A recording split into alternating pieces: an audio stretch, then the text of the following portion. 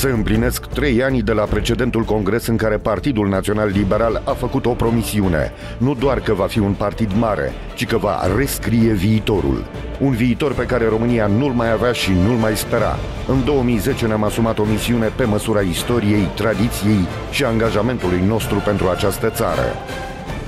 Declar deschise lucrările Congresului Ordinar al Partidului Național Liberal.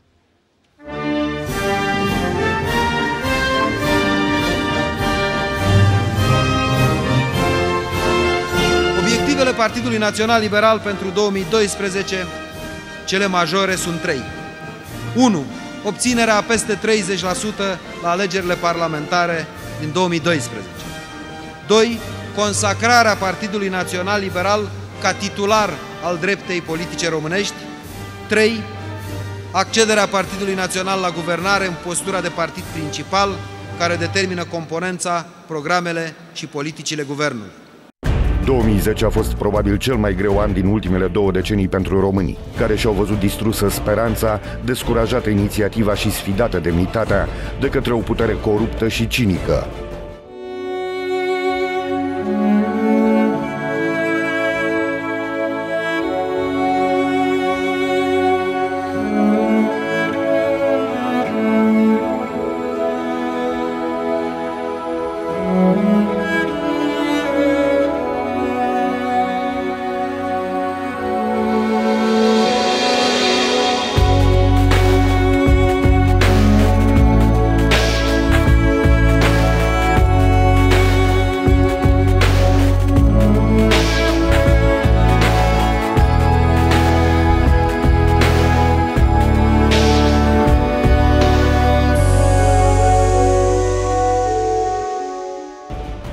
România învrăjbită, deznădăjduită și sărăcită avea nevoie de o soluție.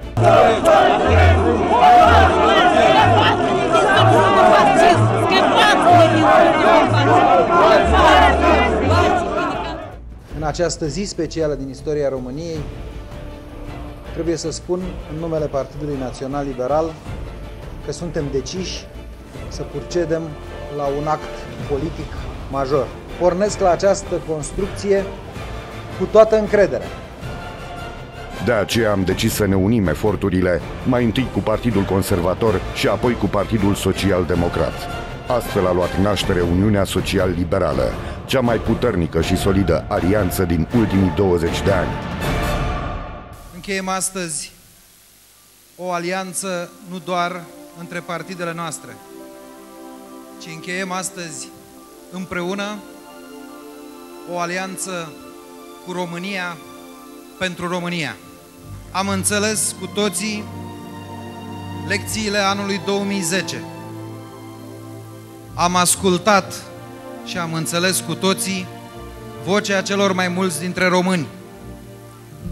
Astăzi, mai repede decât s-ar fi așteptat oricine și mai durabil decât se așteaptă oricine, ne dăm mâna cu doctrinele noastre, cu identitatea noastră, cu istoria noastră, ne dăm mâna cu toții pentru prezentul și pentru viitorul acestei țări, cu gând bun și cu Dumnezeu înainte. Partidul Național Liberal a dus la nivelul Uniunii Social-Liberale angajamentul său pentru România, pentru revenirea la valori și principii.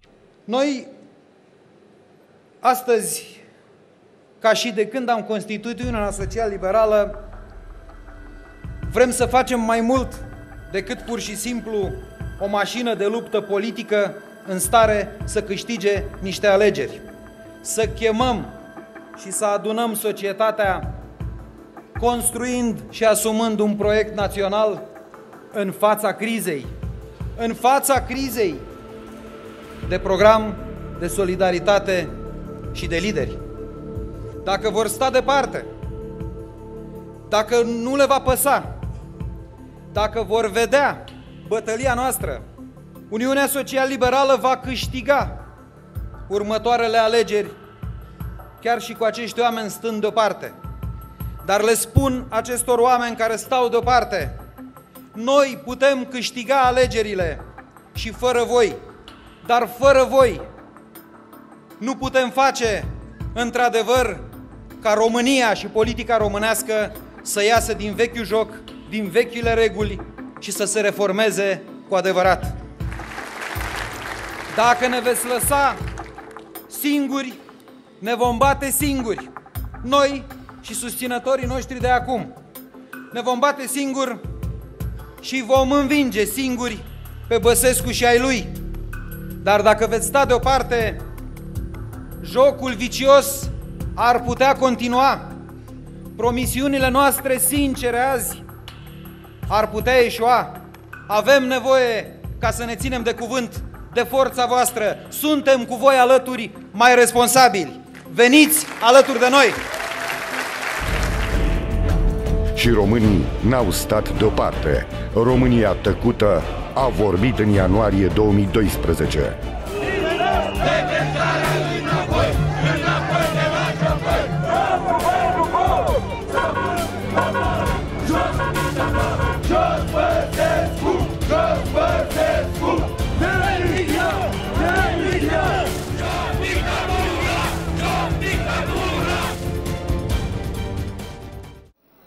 Așa cum acum 22 de ani am ieșit în străzi, în toate orașele țării, astăzi facem exact la fel.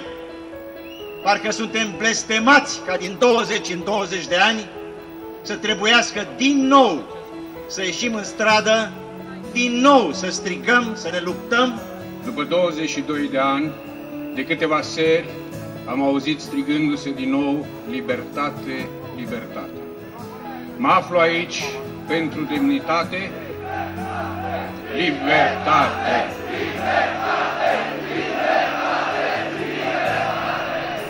Indiferența este esența lipsei de umanitate.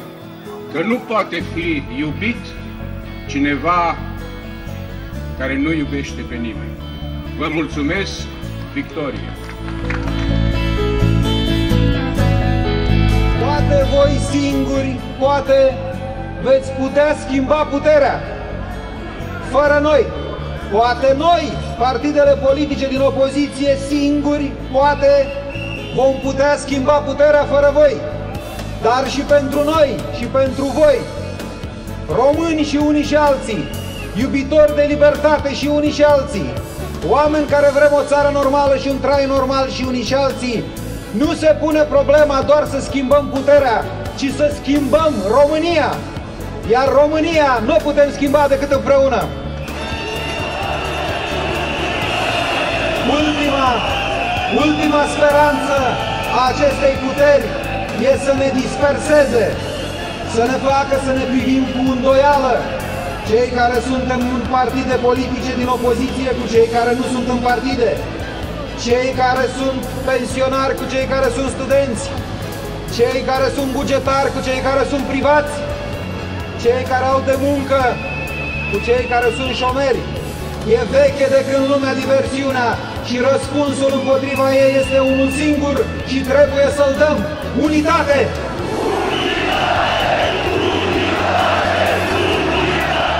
Pentru prima dată în istoria ultimelor două decenii, România a cunoscut o schimbare de putere înainte de alegeri. Acțiunea hotărâtă a Partidului Național Liberal și a partenerilor săi a făcut posibilă eliberarea de o guvernare care a sufocat România. Mă tem, domnule prim-ministru, nu atât de dumneavoastră personal, cât de capacitatea sistemului în care trăim de a vă regenera, de capacitatea sistemului de a produce la infinit ungureni.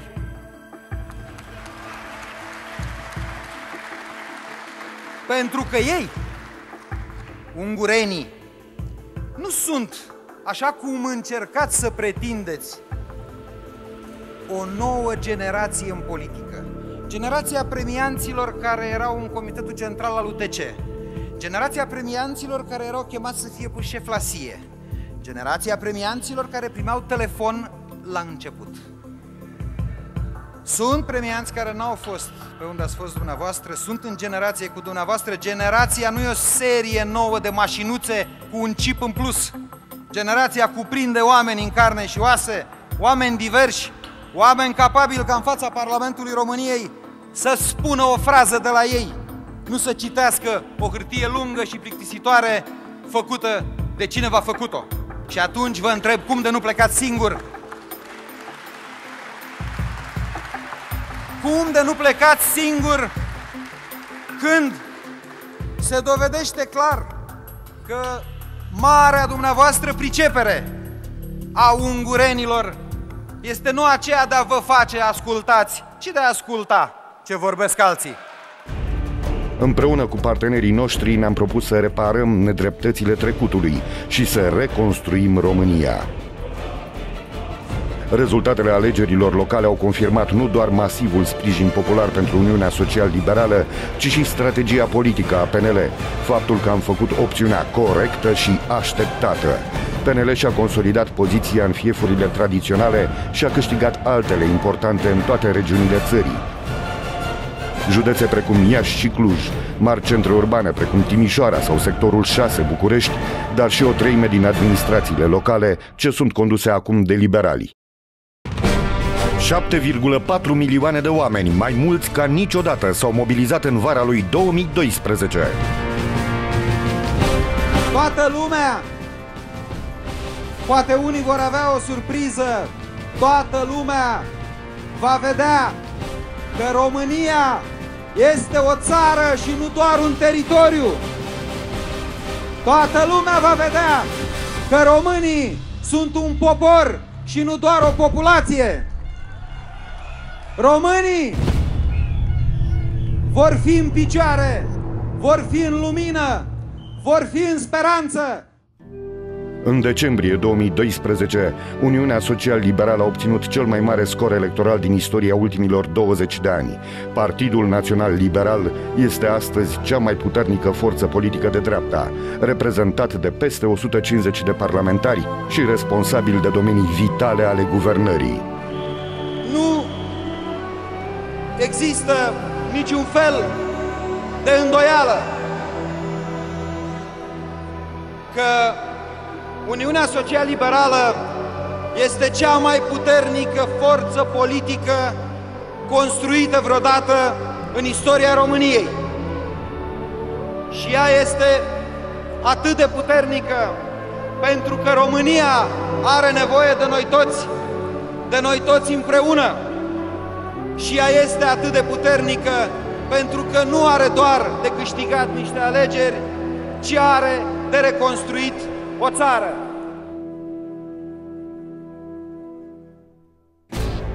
Am scris istorie împreună, iar istoria continuă.